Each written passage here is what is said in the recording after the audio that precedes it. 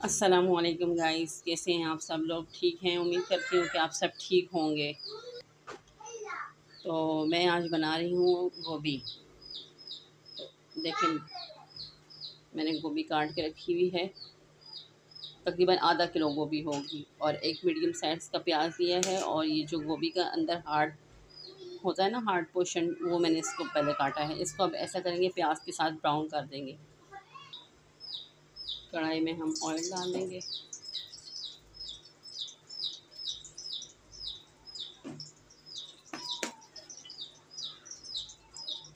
और ये प्याज ऐड कर देंगे।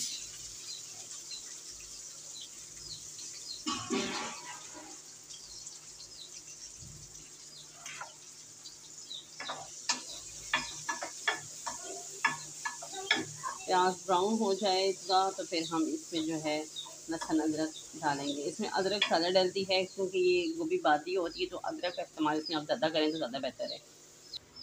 ये देखें प्याज ब्राउन हो गए हैं। अब इसमें मैं लहसुन अदरक डाल दूँगी।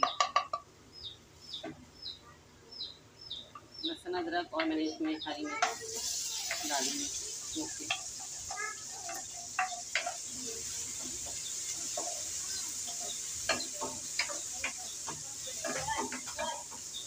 थोड़ा सा साटे हो जाए तो फिर हम इसमें टमाटर ऐड कर देंगे।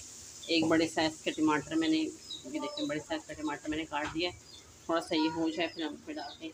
फिर थोड़ा सा हम इसको उगा के डालते हैं।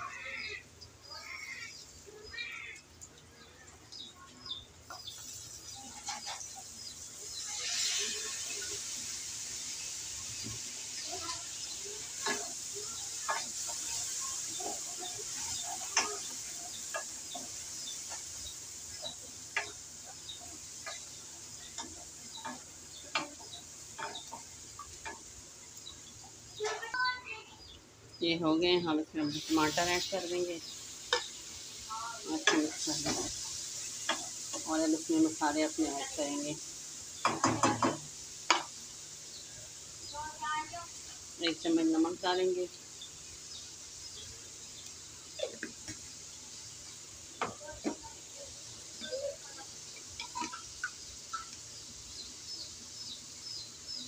एक चम्मच लाल मिर्च।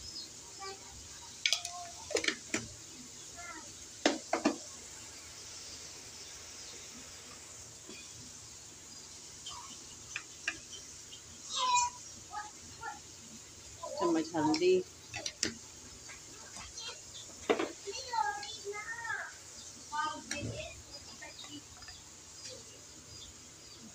भरा हुआ चम्मच ज़ीरा और सूखा धनिया, एक चम्मच।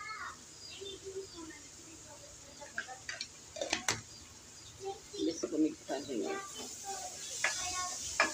थोड़ा सा ढक के रखेंगे, ताकि टमाटर हमारे गल जाएँ, फिर हम इसमें गोभी ऐड कर देंगे। ये देखें, टमाटर हमारे हो गए हैं तो अब हम इसमें गोभी ऐड कर देंगे और इसको मसाले को इसमें अच्छे से मिक्स कर देंगे, ताकि हर जगह पर मसाला जो है सही से मिक्स हो जाए गोभी के अंदर। वाइट वाइट ना रहे ये।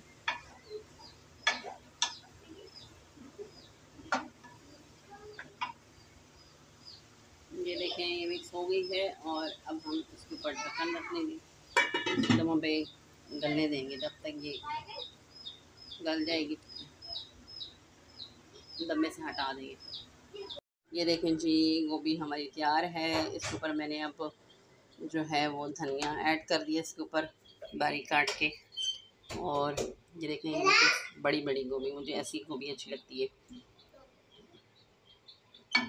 अगर आपको मेरी रेसिपी अच्छी लगी हो तो प्लीज़ लाइक करें शेयर करें कमेंट्स करें और मुझे अपनी दुआ में याद रखें। अल्लाह हाफिज़।